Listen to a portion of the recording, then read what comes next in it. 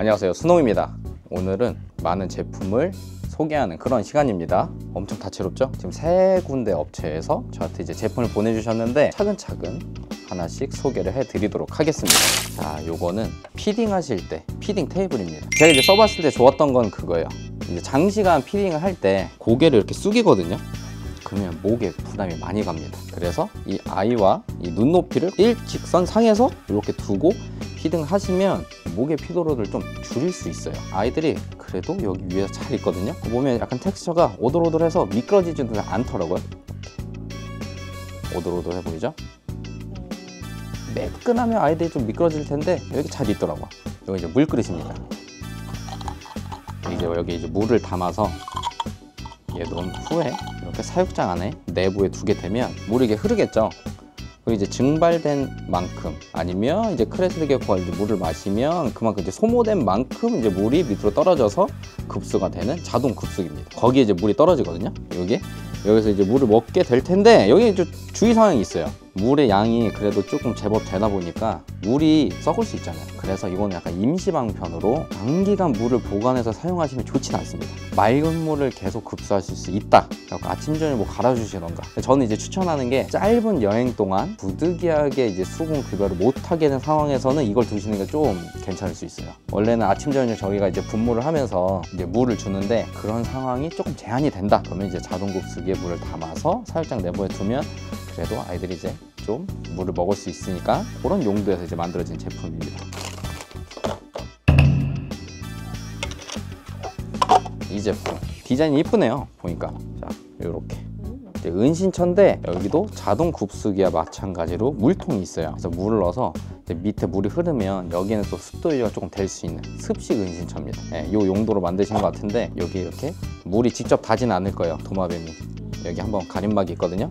물이 내려와서 이 물이 고이고 물이 증발하면서 습도는 유지되는 습식 은신처예요. 차 환경을 만들어주는 네, 맞습니다. 습식 은신처. 이걸 장시간 사용해 보진 않았는데 아이디어는 굉장히 좋으신 것 같습니다. 디자인도 이쁘고. 그 다음에는 이제 사육장 내부.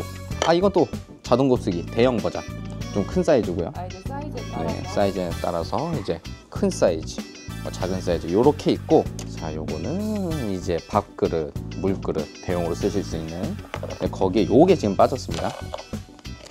이렇게 껴져서 이거는 이 오돌토돌한 건 뭐예요? 여기 이제 물을 담는데 혹시나 이 물그릇에 아이가 빠져서 그런 아. 위험성이 있기 때문에 만들어 두신 그런 기능이라고 합니다.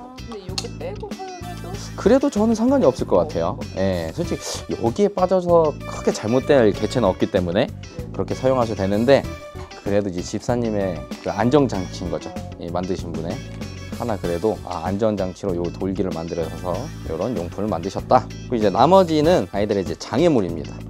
이제 은신처 내부에 이제 흔히 이제 백업바 여기 이제 틈 사이에 껴서 이렇게 고정을. 네 고정을 하면 되고 요거는 저 어렸을 때 그 정글북 같은 거 있잖아요. 정글짐 정글집이에요? 정글북은 뭐죠? 그- 애니메이션인가? 네. 약간 오류가 있었는데 정글짐이라고 합니다. 초등학교 졸업한 지 너무 오래돼서 그런 구조에서 아이들이 자유롭게 놀 수 있게. 네, 여러 가지 모양이 이렇게 있는데 이거 뭐 세워 두셔도 될 것 같고요. 밑에 두셔도 되고 이렇게 붙이셔도 되고. 네, 여기 뽁뽁이 있잖아요 뽁뽁이를 해서 붙여 두시고 이렇게 자유롭게 쓰시면 됩니다. 그냥 집사님이 두시고 싶은 방향에 맞춰서 이렇게 해서 이렇게 거치를 하면 된다. 여기는 이제 펜달림 제품이에요. 저는 리뷰하고 싶은 제품들 리뷰를 하거든요. 귀여운 게 엄청 많네요. 이분도 이제 그래 이제 크레를 이렇게 쪼석에 조금 키우시더라고요. 그러면서 이제 직접 만드시니까 아 이제 아이가 이렇게 크는데 아, 요 정도 제품 아 요런 부분이 좀 필요하다라는 걸 이제 직접 만드시더라고요 제품을.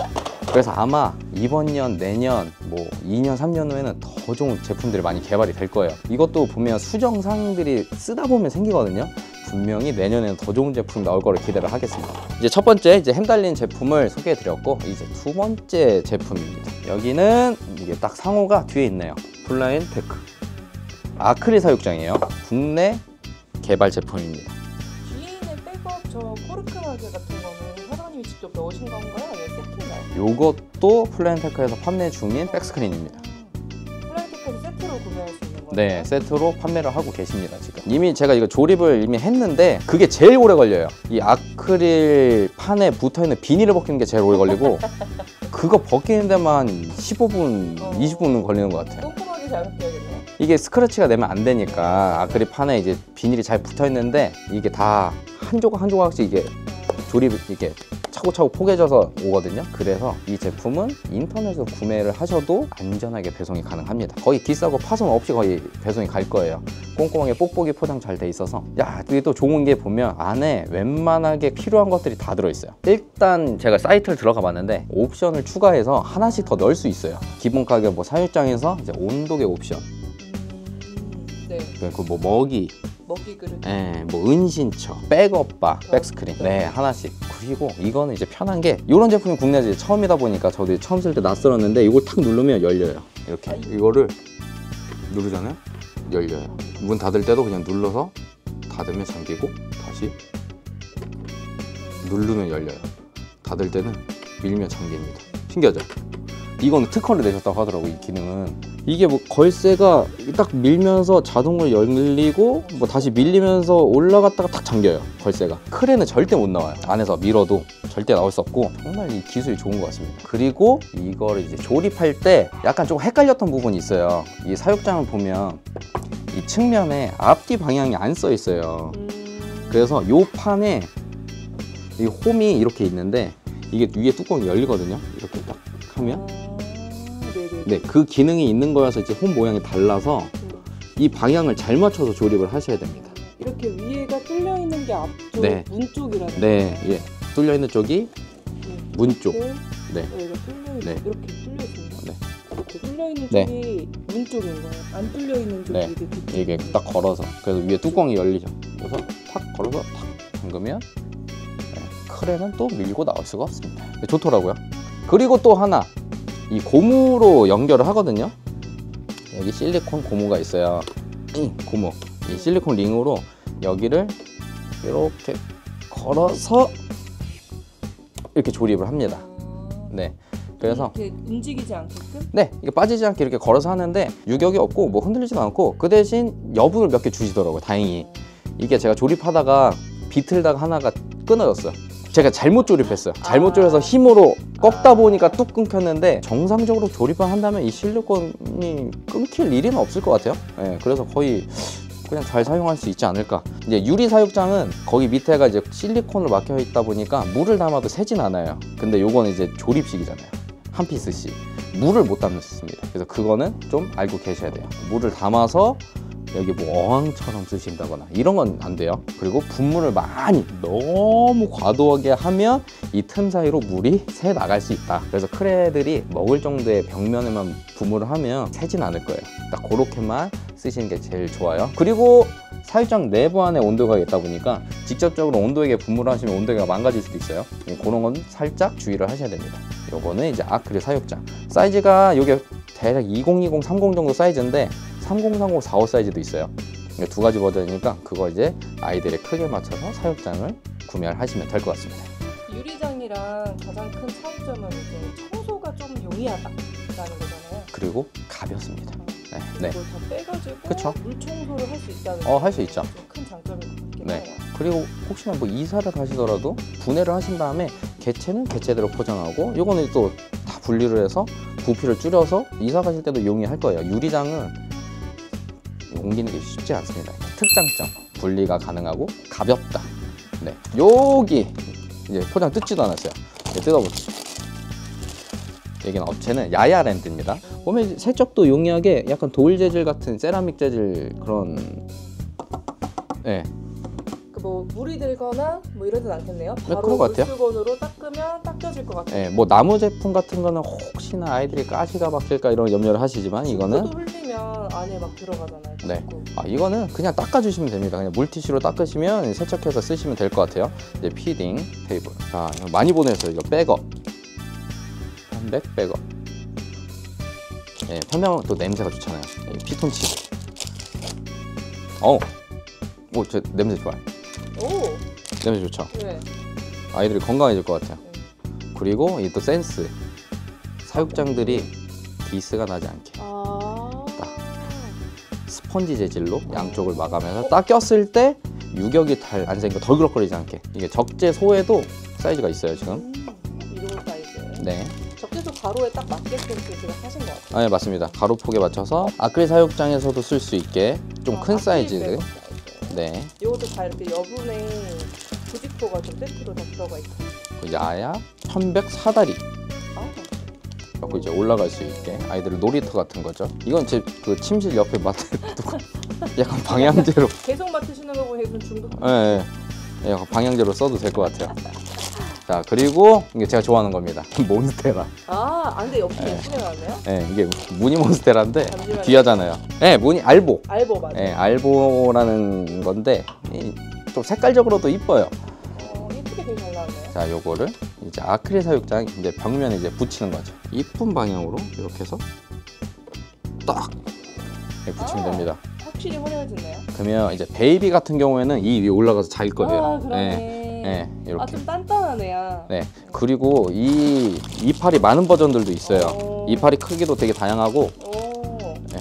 이게 조금 더 큰 지금 알보네요. 네 아까 그것도. 있고 네, 사육장에 들어간 거구나. 네 맞습니다 자 보면 이 오, 많은 잎이 있는 다 알보. 버전도 있어요. 솔직히 베이비가 작았을 때는 요거 하나만 들어가도 네. 안에 구조물 딱히 필요 없어요 그러겠다. 이 뭐 줄기 올라가서 백업처럼 쓸 수 있고 여기 올라가서 잘 수 있고 또 크레가 이 작은 텀바구니 사이 껴서 자는 걸 좋아합니다. 맞아요. 예, 얘네도 이제 은신처 개념으로 어두운 데 찾아가거든요. 근데 이파리가 이렇게 겹쳐져 있으면 여기 사이에 들어가서 크레들이 이제 자요. 요렇게, 아, 요런데. 예, 그래서 요거를 또 안에 한번 넣어볼게요. 예, 요렇게 해서 예, 그럼 다른 딱. 게뭐 딱 필요 없어도 거기서 본인이 알아서 잘. 어 그쵸. 여기 올라가서 쉬고 그 여기에 분무를 해주면 여기 또 물을 핥아 먹고 예, 좋은 것 같습니다. 그리고 지금 작은 사육장에 들어가서 지금 이게 되게 꽉 차 보이는데 3030, 45 사이즈 정도 들어가면 이 정도 잎은 들어가면 좋을 것 같습니다. 예, 키우시는 사육장 크기에 맞춰서 다양한 사이즈의 제품들이 있네요. 보니까 요거를 쓰시면 될 것 같아요. 예, 다들 예쁘고 단단하네요. 이렇게 좀 낭탕낭탕 거리는 것들은 네, 크레가 올라가면 좀 금방 휘어져 버리잖아요. 네. 그래서 애들이 올라갔다가 휘어지는 것 때문에 뚝 떨어지고 좀 그러거든요. 근데 얘네들은 조금 단단해서 잎 재질도 좋은 것 같아요. 단단합니다. 잎 네, 자체가. 예. 원래 이거 되게 저가 제품은 보면 약간 청같이 맞아요. 좀 아 이거 좀 사용해도 되나 싶은데 맞아요. 어, 예, 그러네요. 짱짱합니다 이거 입이. 매끈매끈하고요. 혹시 여기에 아이들 이제 배변이나 이런 거 묻었을 때도 잘 닦일 만한 소재예요. 네, 물막 세척해서 쓰시면 게 됩니다. 아주 좋은 제품입니다 지금 보니까.